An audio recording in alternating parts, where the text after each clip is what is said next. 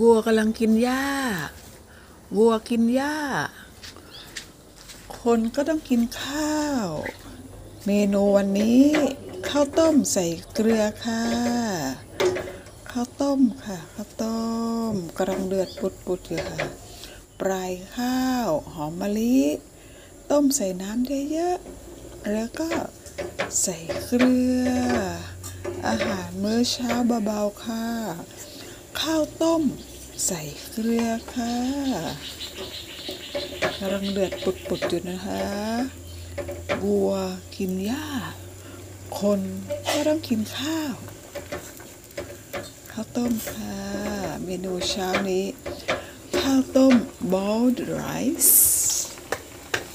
boiled rice โอเคนะคะ โอ้ข้าวต้มร้อนๆค่ะ ข้าวต้มร้อนๆเนี่ยเกลือค่ะ salt ใส่เกลือลงไป อร่อยค่ะ